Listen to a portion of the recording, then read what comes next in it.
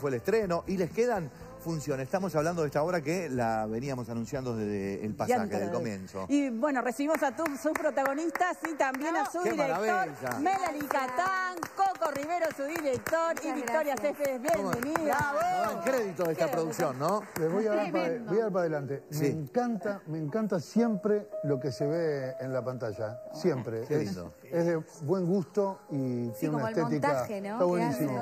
Felicitaciones a los que lo hacen. Muchas gracias. Bueno, felicitaciones a ustedes. Gracias. A ustedes por esta obra maravillosa con... Bueno, tenemos a los músicos ahí que en un ratito ya los vamos a tener haciendo de las suyas, pero música en vivo, o sea, el lugar de los despliegue, ¿no? ¿Cuántos actores en escena? Somos 25 personas en escena. Tremendo. Un montón. Músicos más los actores y bueno, es y la escenografía, se ve un espectáculo de de verdad es muy lindo. Bueno, es una obra que requiere un profesionalismo muy especial porque es una obra que tantos años han pasado y cómo las recordamos, ¿no? Tal cual. Eh, sí, la idea era hacerlo con algo que nosotros estemos orgullosos también porque de alguna manera lo requiere el espectáculo, como vos decís. Y viendo las fotos parece también de otro país, como no estamos muy acostumbrados a estas superproducciones. Claro. Qué, bueno. Qué, parecido a Barbara Streisand, que tiene Ay, me encanta que vean eso, es impresionante. ¿y, cómo, ¿Y cómo sentís estar en la misa y en la procesión? Porque también has tenido que ver mucho en, el, en, la, búsqueda de este espectáculo, ¿no? Eh, a mí Yentel siempre fue una obra que me encantó desde, desde que la vi cuando era chica. Y bueno, junto con Lea y Sofía Scarone, Lea Benzazón, que se embarcó en este proyecto, fue la primera mujer que dijo, sí, hagamos esto, Uruguay se lo merece. Es muy del, sí. ella tiene el sí a flor de piel, es una y se lo puso a los hombros. Y escribió las canciones. Llamamos a Coco, convocó, Coco convocó, escribió también las canciones, como dice Martín, junto con Koff, que las compuso, y Coco convocó un elenco que de verdad es el dream team de cualquier director, ¿no? El grande T, me encanta, me encanta, Estás orgulloso, Coco, se te nota en la cara, ¿no? Sí, sí. Lo, que pasa es que pocas veces tenés la suerte de, como director enfrentarte a un espectáculo de, esta dimensión y poder armar el, el equipo que vos querés. Claro. Y que los 25 intérpretes también de alguna manera narren tus 30 años, mis 30 años de historia como, como, como, actor, director. Hay gente que, conozco desde que empecé y hay dos actrices que egresaron de, la EMA del año pasado estudiando conmigo como docente. Entonces hay... Nada, El espectro es muy amplio. Hay, muy, hay mucha gente muy talentosa, muy capaz y sobre todo muy querida. Entonces cuando pasa eso es tan sencillo. A, ver, eh, diría si no me equivoco, es, Dolina. Eh, uno es mejor perder con los amigos. Eh, y bueno, es mucho más lindo fracasar, si es que vamos a fracasar, eh, con la gente que vos querés, fracasás de otra manera. Entonces, eso también te da como un colchón de protección y que a mí me deja muy tranquilo. Yo quiero decir también que en realidad, además que para mí fue un placer trabajar con Coco Rivero, no es fácil trabajar con cinco, 25 ah. almas en escena ah. como músicos, actores. Un proceso además que fue realmente maravilloso. Estamos como todos muy enamorados entre nosotros mismos. Salíamos extasiados de cada ensayo y fue un proceso de muchos meses, de también mucho sacrificio de parte de todos, obviamente, como implica siempre hacer una obra de teatro. Y, que el DT de Coco Rivero nos haya, es verdad, elegido a cada uno y y que el proceso ha sido hermoso, que ya eso es, una, es, algo también para agradecer y poder haber estrenado de la manera que lo hicimos el miércoles pasado fue también, es como una, una alegría al alma y de todos, porque salimos todos muy, muy felices y estamos muy felices. Y por eso queremos que la gente venga a vernos, porque es una obra que generalmente no se hace mucho acá. Entonces también es una gran oportunidad. que, no las imágenes, no se, pueden perder esta producción, es Tremendo, es tremendo. Sí, incluso en la semana cuando decís, bueno, ¿qué puedo hacer hoy diferente? Cae en la mitad de la semana, entras al movie y te encontrás con un mundo totalmente particular. De algo que de verdad esto, mm. está todo tan cuidado. Coco cuidó todo, Petco hizo la escenografía, Mercedes Lalane el vestuario, todo está como, tiene un trabajo por detrás tan impresionante. Y qué temática tan vigente, ¿no? A pesar de tantos años que han pasado, ¿no? Tal cual. Y antes es la historia de una mujer que se trasviste para poder estudiar a principios de 1900. Y un poco indagando, yo justo el otro día encontré una mujer que en Edimburgo en 1800 quiso estudiar medicina e hizo lo mismo. Ah, hizo, lo mismo. Se vistió de hombre para poder estudiar medicina. Y de alguna manera creo que esto se va a seguir repitiendo y si salís un poco de, del occidente lo vas a encontrar. Como dice el librito de, la información de la obra, que no es una mujer que quiere ser un hombre, es una mujer que se tiene que vestir de hombre para, llegar a los mismos derechos que el hombre. Y aún, aún si uno saca, saca de la idea de trasvestirse, muchas veces para, para, para habilitarse en este, en este mundo masculino, eh, muchas mujeres tienen que apelar a una zona que no, que no, les pertenece como forma de ser para poder meterse. Y claro, inmediatamente la respuesta es, pero qué mal humor que tiene, qué mal carácter. O sea, de alguna manera nuestro sistema eh, patriarcal de alguna manera obliga a, determinadas conductas. Y nosotros en la obra hablamos, intentamos hablar de la idea de, un alma andrógina, de, tratar de, nada, de escucharnos, de atendernos, de modificar algunas conductas para ser libres, mientras que no que no podamos ser libres todos de poder hacer lo que queremos sin joder al otro, va a ser muy difícil que el género, el género humano pueda avanzar y pueda progresar sobre sí mismo. Coco, eh, ¿la música qué, qué rol tiene dentro del espectáculo? Y la música es la, la banda en vivo. La música es la obra. Sin, sin la obra, el parejo viste voy a entrar en tortico y ni me toma. No, no, no, mira para adelante, mira para adelante. Che, el director está medio raro, no, está entendiendo. Dicho es la eh, voz. Voy, a hablar con, con Dios, voy a hablar con Dios. Yo te cuento, Dios, que la música es fundamental, que, la, que cuando, vos te, cuando vos decidís que haya una banda en vivo, la música pasa a tener un rol fundamental, porque es muy visible, porque lleva el ritmo, porque entiende el juego. Y bueno, en este caso además eh, eh, la música que, es, eh, que es, Klezmer, es una banda Klezmer que toca música Klezmer, obliga también a darle una dimensión al espacio musical, al espacio sonoro en la obra, que la modifique. Y para el espectador además es un sonido no habitual, y eso también es interesante. Y cabe destacar que en realidad, por ejemplo, de la película original, la música estaba muy tirada a Hollywood en los años 80 y acá es una decisión también un poco de Lea, un poco no, fue una decisión de Lea decir, bueno, si vamos a hacer acá Yentel, va a ser con música nuestra. Ah, y nosotros vamos a componer la música y va a ser 100% uruguayo. Y de alguna manera volver a los orígenes también de Europa del siglo de principio del siglo XX y por eso está COF, la que es menor orquesta Finoli, con la dirección de Fernando Nathan y bueno, las letras de Lea, así que es Dream Team. Ya lo dije también, que son... Mira el quinteto. Fútbol falta uno, falta uno. Fútbol 5. Falta una, falta una, pero es un fútbol 5. ¿No? Importante. Claro, Importante. Asusta al rival. Ah, claro.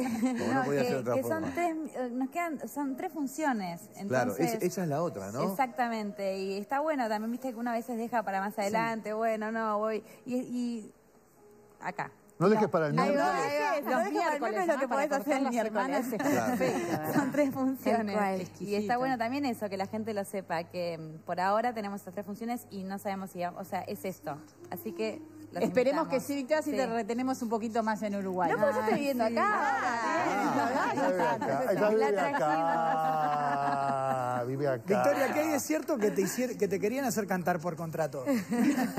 bueno, el director me, me, me, llamó y le dije, Coco, yo no canto, puedo hacer un esfuerzo, pero me dice, no, tranquila, va a cantar Melanie. Y Betina Mondino también canta de Está Betina también, está Sherry Galván, Carlos Orriba, Fernando, Toja, Los Tenedores. Chepe Martín Chepe Iriciti, que hace de Avigdor. Es una. Fabi Charlo, hay una banda. No, no, no es una. Luz, sí. Melanie, ¿volviste a ver la película para recrear un poco el momento? Bueno, en realidad al principio sí, y después cuando me junté con, con Coco e hicimos como la primera lectura, dije, ta, acá lo abandono. lo tenés que incorporar sí, Tengo que hacer lo mío. Y por suerte, el laburo con el Coco fue muy armónico y él me dejó mucho buscar quién quería ser dentro del espectáculo. Incluso jugamos mucho con Vicky y con Chepe porque de alguna manera se genera un trío amoroso, de que yo amo a un hombre, el hombre ama a otra mujer, la otra mujer me ama a mí y yo quedo entre el hombre y la mujer y no sé con quién quedarme, porque soy hombre y mujer y el hombre me ama un poco. Entonces de alguna manera también me voy nutriendo mucho de mis compañeros y el cine es muy diferente al teatro. Ah, muy incluso los gestos que hace ella en cámara es muy diferente a lo que el Coco plantea también con la escenografía shakespeariana. Y subimos y bajamos. El otro día me encontré en la calle con una, espectadora que fue, no les conté.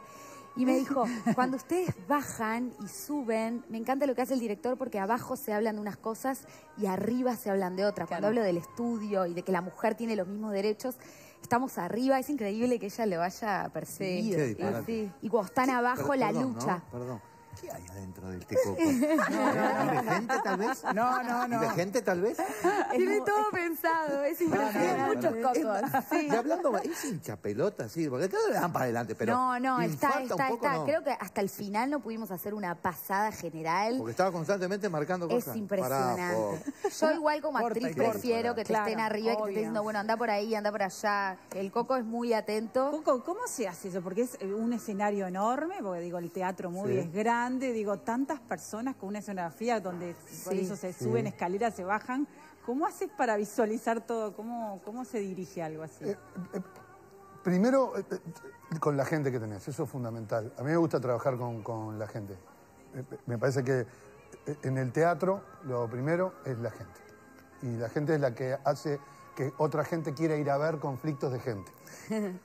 Después, si además tenés toda la posibilidad de, volar como, yo qué sé, como, como hizo Gustavo Petkov con la escenografía y Meche desde el vestuario, entonces ahí tenés que pensar otras cosas, pero siempre lo primero es eh, eh, el, contenido humano, que es el que construye, que es el que mueve.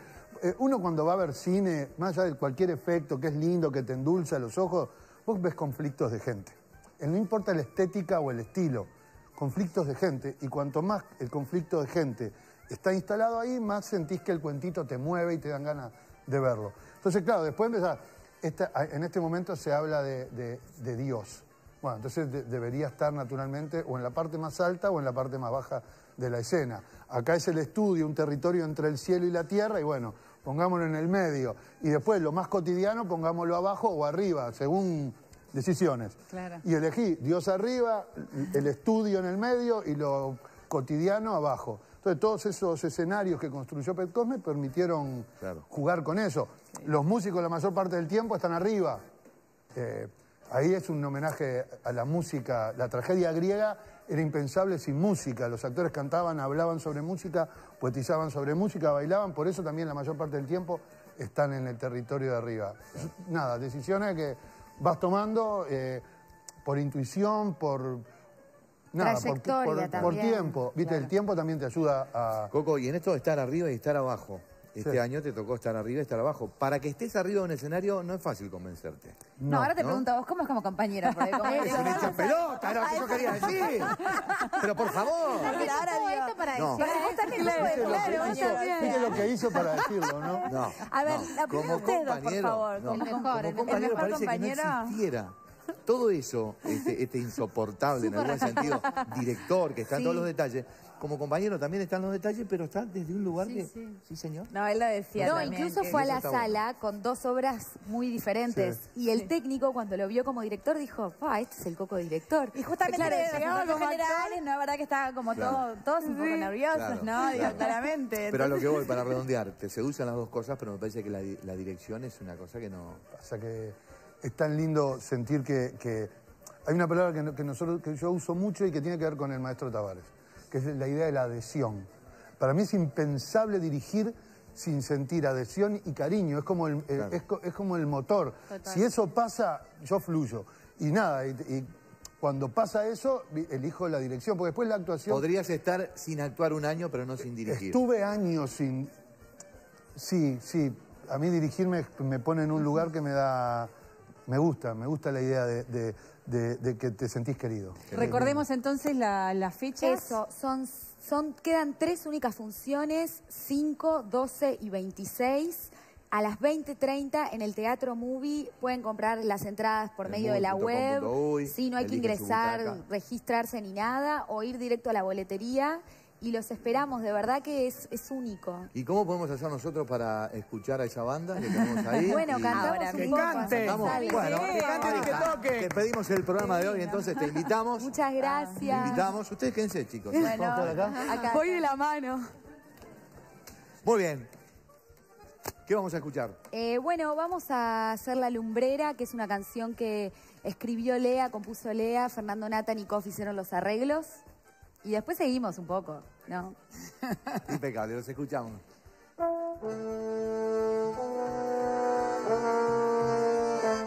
¿A dónde se van las palabras que hoy no puedo pronunciar?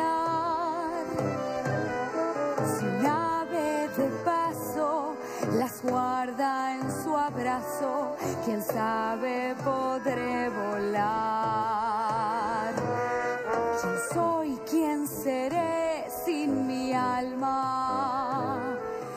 Calma que no tendré. La altura del mar, la sal de